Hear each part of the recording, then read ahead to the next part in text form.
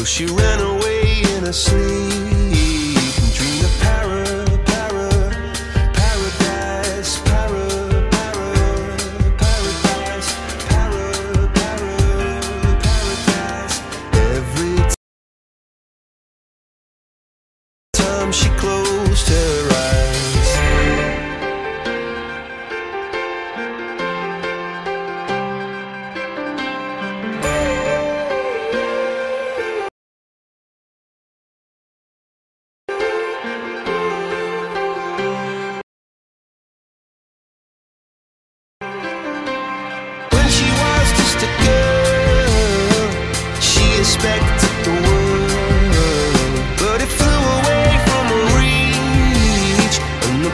catching a tea.